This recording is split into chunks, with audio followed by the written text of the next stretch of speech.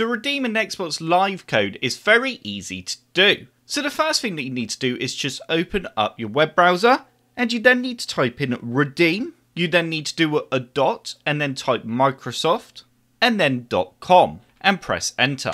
So depending on where you've purchased the code from, so let's say I've got an American code right now and I'm not currently in America because I'm in the UK, for example, you would need to use a web browser called Opera.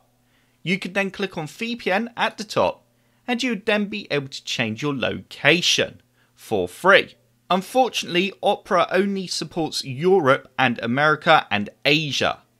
If you wanted other locations, then you would need to use a different VPN service or sign up for the pro version here, which it does actually say you can try for free.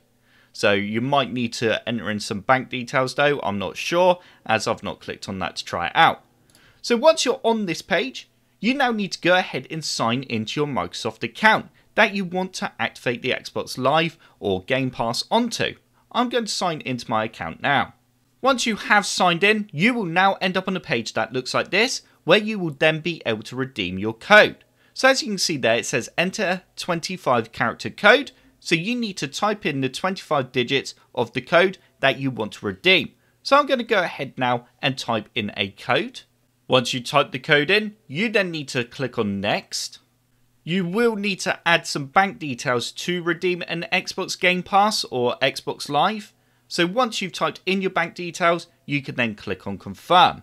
And as you can see, I have now successfully redeemed the Xbox Game Pass Ultimate. So that does now bring me to the end of this video.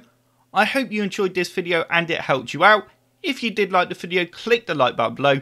And if you want to see more computer sluggish videos, then click the subscribe button. If you do subscribe, then I will see you in the next video.